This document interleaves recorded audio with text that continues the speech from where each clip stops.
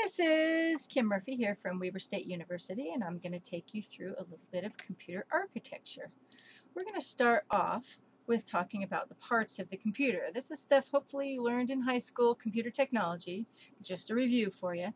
So we're going to start off with the insides of the computer though. So the very first main part of your computer is called the main board. This is what houses pretty much all of your, your computer. Other, everything else is just a box and other things that plug into the main board. It, um, so it's a printed circuit board. It's not always blue like in this picture. Usually it's green. I don't know why I happened to find a blue one, but but it's kind of your processing device. It put your processors on there, stuff like that. Uh, your processor is kind of your brain of your CPU. It manages any kind of input, output, storage devices, uh, all the mathematical operations. That's all done by the computer processor. Now, some computers have video cards and some do not. Some have integrated video cards um, and some have separate cards. If you have a huge gaming machine, you know, you're going to want to have your own video card and all that is is a dedicated card to video. Um, uh, the video card also connects your computer monitor to the computer so you can actually see what's going on inside the computer. Uh, hard disk, that's for storage. Just store your, your, all of your information on the hard drive.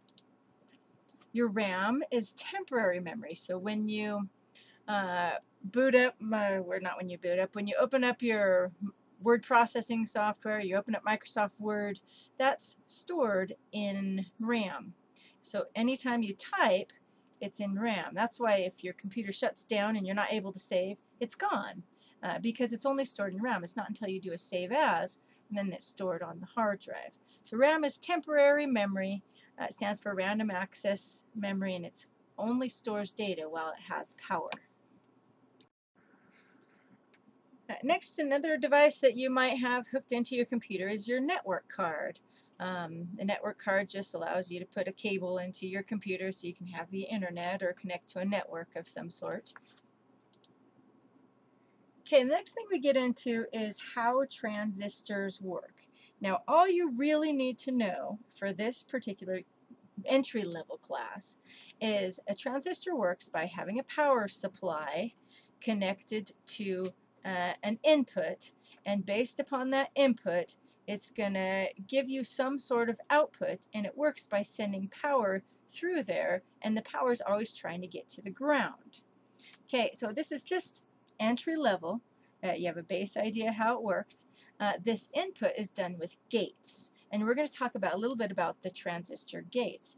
If you want to know a little bit more about how transistors work in a, in a better explanation, I've posted a, another video for you to watch that's a lot more detailed than I could ever do in a PowerPoint. So please watch that video instead of looking at this slide. Okay, so now that you're back from watching that video, I assume, you just pause this, you know, watch that video, come back to this one. Um, we're going to talk about some of the gates that transistors can make.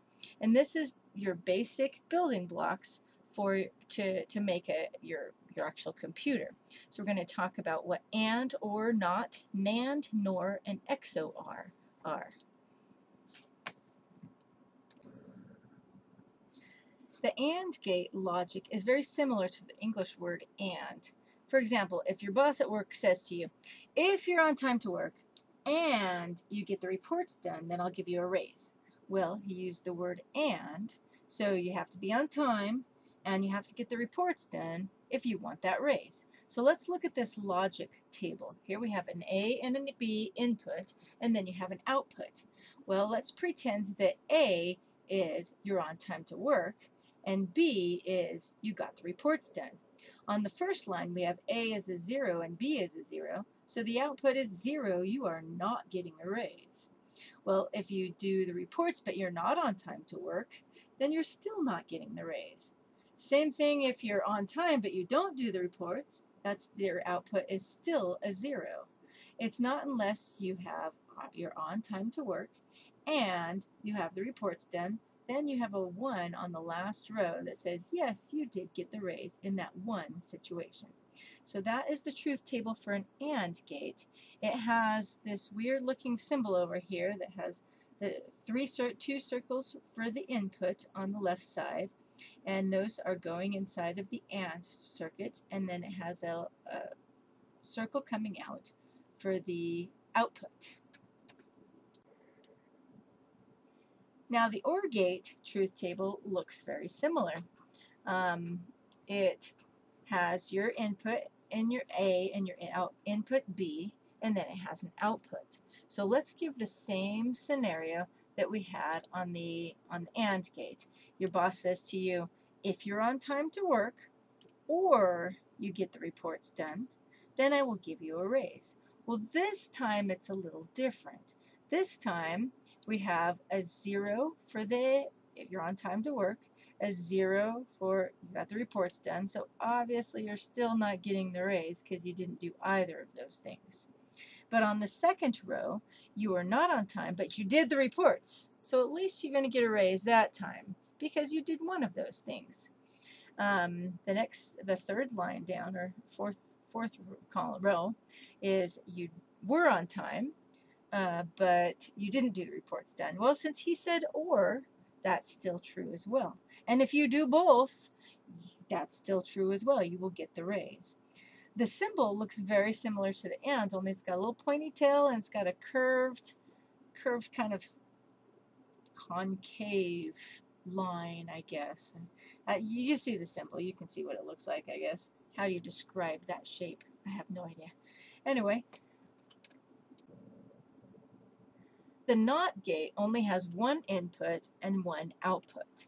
So anything that's not true is false, and anything that's not false is true.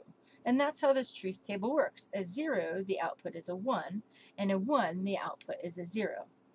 The symbol for a NOT is a little triangle, and it has one input and one output. So a NAND gate is really a combination of two gates. It stands for NOT AND. Uh, so we're going to see if we can do our example again, only this time, our same example of, of you, you being on time to work and doing the reports. But this time, instead of getting a raise, if you are on time to work and you do the reports, you will not get fired. See, we have a not in there because it's not and. All right, so on the first line, 0, 0. That means we did not come to work on time and we did not do the reports. Then we have a 1. We just got fired. That's what happens. That's what he said. Okay, so on the next line down, we have a 0 and a 1. Well, we were on time or we were not on time, but we did the reports. Well, we still got fired because he said we have to do the reports and be on time. Same thing on the next row down. We were on time, but we didn't do the reports. We still got fired. The last row, it's not unless we are on time to work and we did the reports. Then we have a zero, meaning we did not get fired. So NAND gate, really similar to AND. It's actually the opposite of AND. On, on the AND gate, the output is 0001, and on the NAND gate, it's 1110. And the symbol for it looks exactly the same as an AND gate, only it has a little bubble at the very bottom of that big shape in the middle that says, oh, this is not an AND. So it's the opposite of an AND. Of an AND. So now that you understand a NAND gate, a NOR gate is very similar. It's not OR. So we can still use our same example. Your boss says, come on time to work, or do the reports, and you will not get fired. Well, if you don't do either of them, you have a 1. So a 0, 0 is true that you will get fired. Uh, the next row down, you were not on time because that's a 0. And then in B, you did do the reports though, so you're not going to get fired in this situation because he said or. Uh, third line down, you have a 1 and a 0 is a 0 because you were on time to work. Even though you didn't do those reports, you're still on time to work, so you don't get fired. And obviously, if you do both of the good things, you're on time and you do your reports, then you will not get fired. So it's the exact opposite of, of an OR. Uh, the symbol for it looks exactly the same once again except for the little bubble at the very end that means not. Now the XOR gate stands for exclusive OR. The symbol for it looks like the OR statement, only it has an extra little line there that means exclusive. So the easiest way to remember the XOR gate is to think of a staircase. There's a light switch at the bottom of the stairs and there's a light switch at the top of the stairs. When you first get to the stairway, the light is off and both switches are off. So I'm going to go, he's going to turn the light on. There we go. He turned the light switch on. This is a 1, it's on, and it turned the light on. Then he's going to go up to the top of the stairs. The light switch was off even though the light is on. Now when he clicks the light switch, the light turns off. So then he's going to go back down the stairs and turn the light on, but on the way he trips because the light's off, you know, of course. And then he turns the light off, and that turns the light on. So this is kind of like the XOR gate, and I'll show you the truth table in the next slide. Okay, so back to this truth table that we had on the previous slide. For the XOR gate, your inputs are A and B and you still have your output.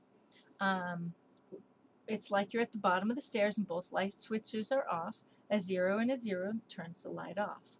When you go up the stairs and turn the light switch at the top of the stairs for B to on, then your output is the light is on. That is becomes a 1. Uh, if the light switch at the bottom of the stairs is on, but the one at the top of the stairs is off, the light is still on. And then when you turn both light switches on, then the light turns off. So it's exactly like the light at the stairs. Now there are other gates listed in the book, such as adders, shifters, and flip-flop gates. These gates are used on the main board and the processor to make up what's called von Neumann architecture, named after John von Neumann or named after that post office guy in Seinfeld, Newman. Von Neumann architecture is an abstract model at the core of every computer today. Describes the CPU as having an arithmetic logic unit and registers, or high-speed memory. The CPU pulls instructions from the main memory and executes the instructions depending on the input. Those instructions are then stored in main memory or stored or sent to storage or output. So hopefully now you have a better understanding of how computers work.